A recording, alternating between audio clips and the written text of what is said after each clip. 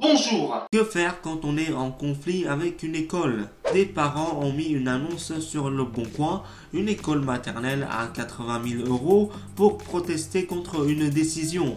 L'annonce a été retirée du site et le maire et l'inspection académique ont porté plainte. La police a pu retrouver des voleurs grâce à Snapchat.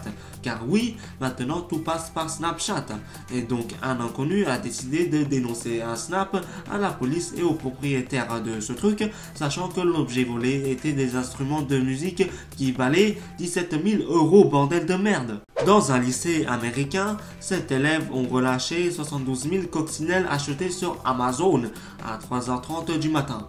Et la direction n'a pas tellement plu ceci, ils ont accusé les élèves de criminels même, heureusement que les autres étudiants ont manifesté. Annie Sanado veut battre le record du plus grand selfie du monde après Microsoft et Coca-Cola, mais fais attention quand même avec ta perche, hein, parce que quand... Merde Comment faire le plus grand selfie du monde? Attends, j'ai une idée. Je prends une perche de 6 mètres de long, ensuite je la secoue pour pêcher le plus grand nombre de poissons et de personnes, et après je fais 6 millions de vues sur YouTube. Maintenant que votre dose de désinformation est terminée pour aujourd'hui, je vous invite maintenant à rejoindre la chaîne, les réseaux sociaux, à mettre un pouce bleu, hein, comme les désinformations internetisées, et surtout partager la vidéo, ça c'est le plus important. Et sur ce, je tout le monde.